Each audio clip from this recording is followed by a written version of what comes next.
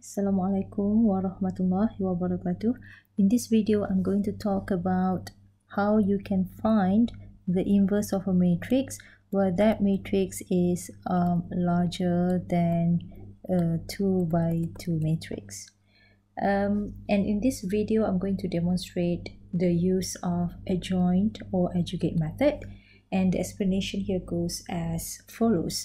Well, we assume that A is an invertible n times n matrix. Therefore, to find its inverse, uh, you will just have to multiply 1 over the determinant of A with um, adjoint or adjugate of A. So ADJ here stands for adjoint, adjoint or adjugate of A, okay?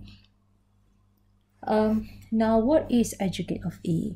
In order to find adjugate of A, uh, what you need to do is you need to be able to find all the cofactors related to matrix A. So if A is a n by n matrix, therefore you will need to find the cofactors for each position. So this is 1, 2 until 1n and then mm, it goes on like this. And then for the last row, it will be n1, n2, and here is an n. So you need to find all the cofactors for each position of um, ij, yes. And then uh, you need to find the transpose of this uh, matrix here. Okay, so you transpose the cofactors and this is the result that you get because the first row will correspond to the first column. Okay, for example, here the second row will correspond to the second column and so on. Therefore, um, the idea is simple. What you need to do in order to find the inverse of a matrix is by finding its determinant. And so you can do this process of 1 over determinant of A. And then to find the adjoint of A, what you need to do is first you need to come up with all the cofactors and then you will transpose that result that you get. And so this is the adjoint of A okay? Um as always it is better to look at example.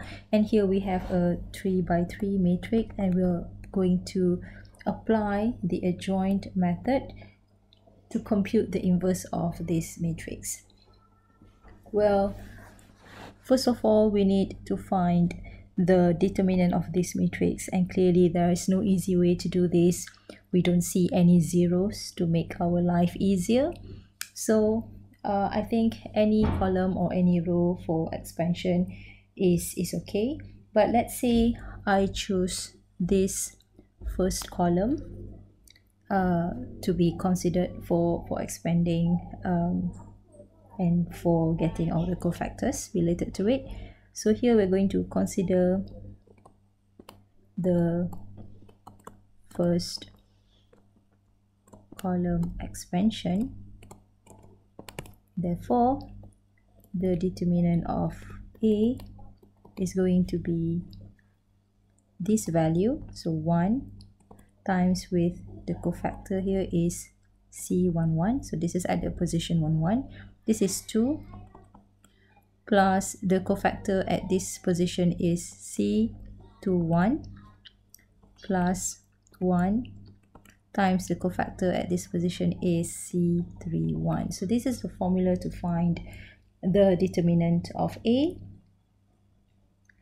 And uh, therefore, we are just going to move on to the process of finding C11 C21 and C31 so here is my uh, separate working area. In order to find C11 I need to know what is M11 and M11 can be obtained when you consider deleting the first row and first column. So I have 2 and 4 3 negative 3 and the determinant of it is negative 6 minus 12 this is negative 18 what is C11? C11 is, well, 1 plus 1 is 2. 2 is an even number. Therefore, the sign is positive. So positive, negative 18, it's going to be negative 18. So that is C11. Alright, next I need to find uh, the value of C21. Okay, so here C21 so we need to find what is m21 which can be obtained if I will delete the um, second row with the first column. Uh, second row first column. So it will be 2 negative 1 3 negative 3 and this is just negative 6 minus negative 3 which is negative 3.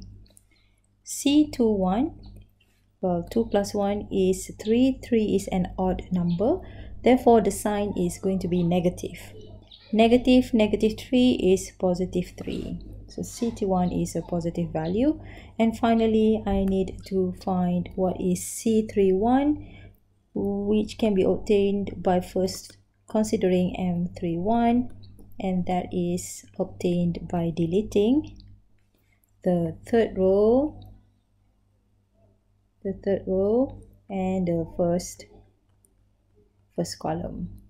So the value that we are looking for here in this new matrix is 2 negative 1 2 and 4 and uh, the determinant of this matrix is just 8 minus negative 2 which is equal to 10 Therefore, C31, well, 3 plus 1 is 4.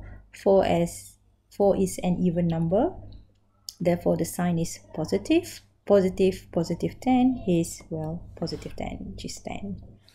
And we're going to insert all the values that we got here right next into, into this formula.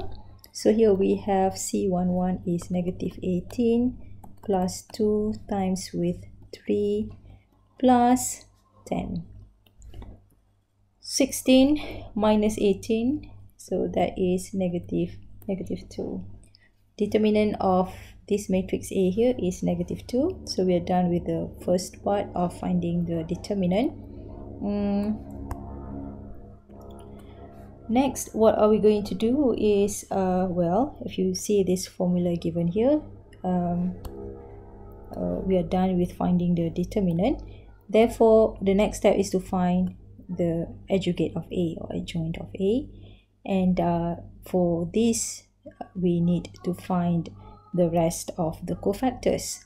So far, we have got C11, C21, C31, which corresponds to this uh, position.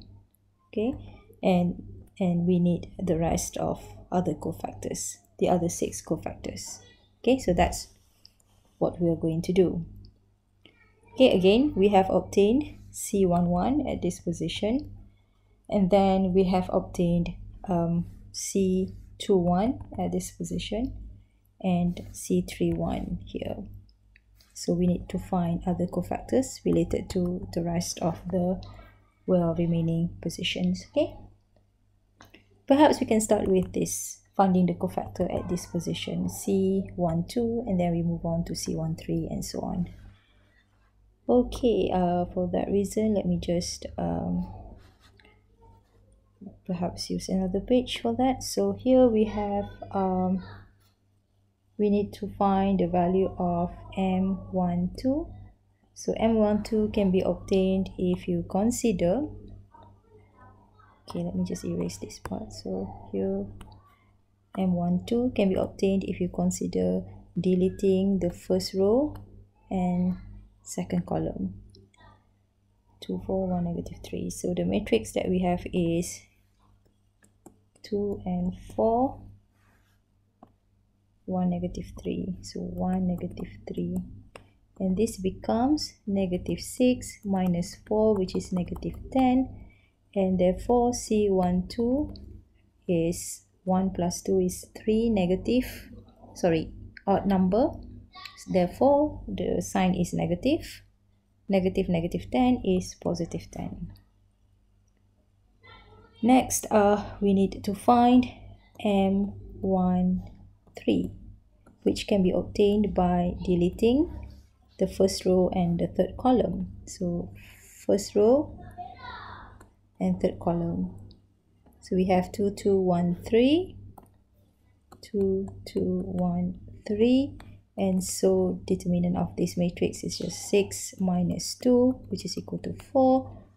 Therefore, C13 1 plus 3 is 4, even number, positive sign, positive, positive 4 is 4. Okay. Next, we move on. Okay, so far what we've got is uh, we have done uh, position this, this, this, this, and this. Next, we move on to this position. Okay, to find cofactor C22 and C23. All right so m22 can be obtained if you consider deleting the second row and second column so here we delete second row second column. So here what we have is 1 negative 1 1 negative 3 so here we have 1 negative 1 1 negative 3 and the determinant of this matrix is negative 3 minus negative 1 so that is negative 2 C22 is um, well this is going to be positive because 2 plus 2 is 4 which is an even number. Positive negative 2 is negative 2 next uh, we move on to finding m23 uh, which can be obtained if you delete the second row and uh, third column so we have 1 2 1 3 yeah?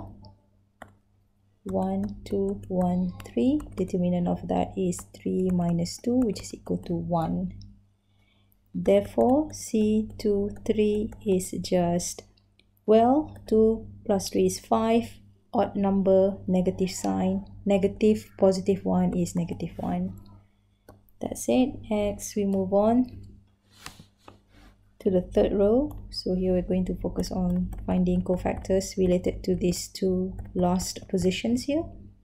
Mm. okay so we need to find what is m um 3 2 which can be obtained when you delete the third row and uh, second column so so I have this matrix here is 1 negative 1 and 2 and 4 and the determinant is 4 minus negative 2 which is 6 therefore 3 3 2 this is um, the sum of it is 5 what number? Negative sign so negative positive is going to be negative 6 finally uh, the last minor that we have to consider is m33 which can be obtained when you delete the third row and the third column. So we have 1 2 2 2 1 2 2 2 and that becomes 2 minus 4 which is negative 2 therefore c33 is going to have a positive sign because the sum here is 6 6 is an even number. So positive negative 2 is going to be negative 2 okay? And based on this we can construct the uh, matrix which contains cofactors according to the position. So the positions are um, well if I write down everything that I've got so far Cij matrix here is going to be well for C11 this is the value C21 3 and 10 so negative 18 3 and 10 negative 18 3 and 10 and then uh, according to the results that we have done here mm, this is 10 and 4 so that will be on this side 10 and 4 and uh sorry. And this one is negative 2 negative 1 on this side negative 2 negative 1 and finally this part here negative 6 negative 2 negative 6 negative 2 okay. Uh, hang on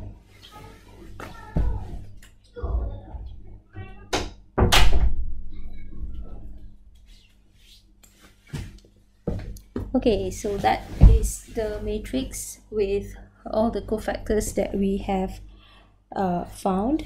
But then what you need is not this but you need um, adjoint or adjugate of A which can be obtained when you transpose the cofactor matrix just now. So now we need to find um, the transpose of this uh, cofactors matrix. Okay so here we have therefore the adjoint of of A is just Cij and you're going to transpose that which is equal to the first row becomes the first column negative 18 10 and 4 this becomes the second column 3 negative 2 negative 1 and finally this becomes the last column. And th that is adjoint or adjugate of A. Therefore uh, we can use the result that we have in order to come up with the inverse of matrix A. Therefore inverse of matrix A is just 1 over determinant of A according to the formula and then you multiply that with the joint of A. And in this case the determinant of A that we have obtained just now is negative 2 so here is negative 2 and just plug in what is adjoint of A negative 18 3 10 10 negative 2 negative 6 4 negative 1 negative 2 and you multiply that with this constant negative 1 over 2 so here we get 9 positive.